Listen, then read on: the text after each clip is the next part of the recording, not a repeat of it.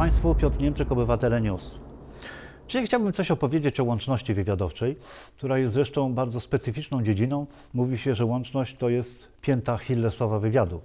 Dlaczego? Dlatego, że najłatwiej jest wpaść na agenta czy na aktywność obcych służb na własnym terenie, kiedy się przechwyci jakiś sens łączności. To nie znaczy, że trzeba to od razu odczytać, chociaż oczywiście najlepiej by było, ale, ale to po prostu wskazuje, może pokazać, że gdzieś ktoś działa, skądś wychodzą informacje, dokądś przychodzą informacje, można zawężyć krąg podejrzanych i to właśnie takie przypadki ujawnienia różnych form łączności to, to jest bardzo istotne naprowadzenie dla służb kontrwywiadowczych. No właśnie, ciekawy przypadek zdarzył się niedawno, ponieważ w maju służby indyjskie wypuściły gołębia, który był podejrzany o szpiegostwo, a został aresztowany w 2016 roku. No, rozumiem, że prawie 3 lata był przesłuchiwany. Być może przesłuchiwały go koty i dlatego udało się wydobyć być może informacje, które pozwoliły na to, żeby w końcu go uwolnić. Powodem zatrzymania tego gołębia było to, że miał na nodze wy, y, napisany numer. Już nie wiem, czy tam miał jakąś obrączkę, czy, czy nie wytatuowany. W każdym bądź razie w każdym bądź razie miał ten numer i ten numer się był, okazał służbom y, indyjskim niezwykle podejrzany.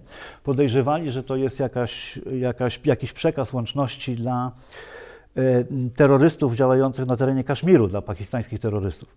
No, wyjaśnienie strony pakistańskiej, konkretnie właściciela tego gołębia, było takie, że to był jego numer telefonu, bo po prostu chciał, żeby jeżeli że jeżeli mm, ten gołąb się gdzieś za, za, zapodzieje, to żeby można było do niego zadzwonić i mu powiedzieć, że jest ten gołąb.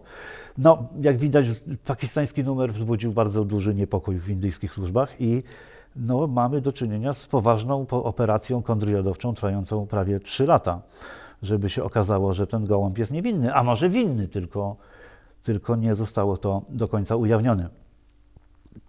Tak jak mówiłem, łączność to jest taka pięta achillesowa wywiadu, jeżeli chodzi o gołębie, to w czasie I wojny światowej żołnierze zarówno wojsk e, Antanty, jak i państwa centralne wydawały właśnie rozkazy, żeby żołnierze widząc gołębie strzelali do nich, ponieważ te gołębie były według założeń, zresztą skądinąd do ogromnej części prawdziwy, E, służyły przekazywaniu informacji od e, szpiegów, którzy byli na zapleczu frontu i na przykład informowali w ten sposób, jakie jest rozmieszczenie tam dział polowych, jakie było rozmieszczenie stanowisk dowodzenia, jakie były, że tak powiem, układ okopów.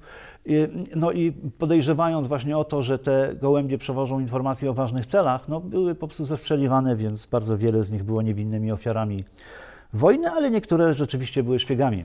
Zresztą z podobnego okresu pochodzi taki pomysł Alana Forsta, który ciekawy, czy jest prawdziwy, ale jak znam życie, to pewnie jest prawdziwy, o tym, jak mm, jeden z oficerów wywiadu chciał przewieźć tajne informacje i się zastanawiał, w jaki sposób je przewieźć, żeby one nie zostały odkryte. Miał psa przy sobie, no i wpadł na taki pomysł, że wygolił tę skórę temu psu, na skórze wytatuował e, e, tajne informacje, a potem poczekał, aż odrośnie sierść i w ten sposób ten, ten pies przeniósł y, no, te tajne informacje, które zdobył agent na obcym terenie, przewiózł do centrali. Y, no, jest 100 tysięcy, jest jakaś nieograniczona ilość pomysłów na to, w jaki sposób organizować tajną łączność. No, najbardziej takie tradycyjne metody to są różnego rodzaju kontenery, martwe skrzynki ulokowane gdzieś tam za śmietnikiem, między garażami, na jakichś klatkach schodowych. E, gdzie się zostawia właśnie zaszyfrowane liściki i sobie odbiera to, odbiera to sobie mm, agent albo jego oficer prowadzący.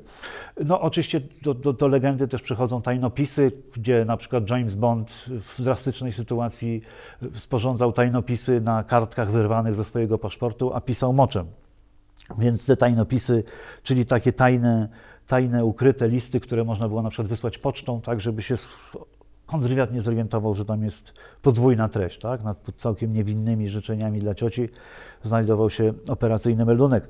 E, bardzo ciekawszą formą były, bardziej zaawansowaną, tak zwane mikrokopki, czyli się robiło zdjęcie na przykład kartki formatu A4 z opisanymi, opisanymi tam tajnymi informacjami, a potem się to zmniejszało do powiedzmy średnicy ułamka milimetra i taką na przykład mikrokropkę można było przykleić pod znaczkiem pocztowym na pocztówce, którą się wysyłało na rzekomo agres, agres mm, cioci.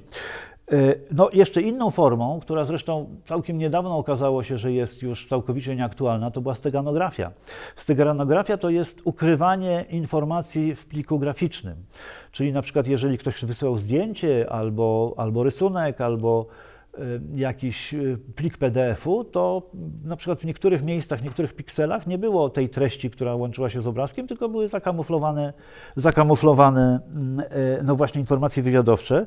No tak jakby ktoś tutaj na tym, prawda, niektóre litery znaczyły coś zupełnie innego niż, niż, no, ale niż, niż w treści tutaj widocznej na zewnątrz. No niestety to, niestety, może stety zostało to wykryte. W tej chwili są programy, które na przykład analizują zdjęcia, które się, nie wiem, pokażą na Facebooku, albo, albo właśnie pliki, które tam się przesyła e, z życzeniami do cioci, jakieś tam właśnie e, e, kwiatki czy inne tam kieliszki. I okazuje się, że algorytmy pozwalają na to, żeby ukryć w tych, w tych, odkryć w tych miejscach no, tajną treść i moce obliczeniowe komputerów są na tyle, na tyle duże, że E, łatwo to znaleźć, że ten, ten poziom łączności, ten rodzaj łączności jest już uznany za, za mało bezpieczny. No dobrze, no ale, ale powiedzmy, jakby się zastanowić nad tym, czy ktoś z Państwa na przykład chciałby, z naszych widzów chciałby zastanowić się, jak mógłby ukryć list. To bardzo proste w gruncie rzeczy. To nawet można, to nawet można znaleźć w podręcznikach szpiegowania dla dzieci. Ja nawet sobie tutaj przygotowałem taki, taki egzemplarz. Proszę popatrzeć, tu jest całkiem, całkiem niewinna żabka prawda? Ale jak się ją troszeczkę weźmie, pogłaszcze pod włos, no to okazuje się, że to jest ukryty książę.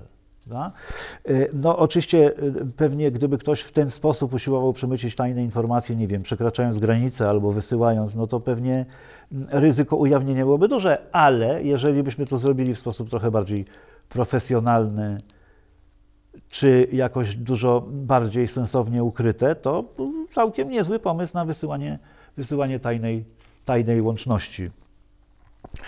E, no właśnie, no właśnie, prawda? Nie, nie, nie, niewinna żabka. Dziękuję Państwu bardzo za uwagę i pozdrowienia od żabki.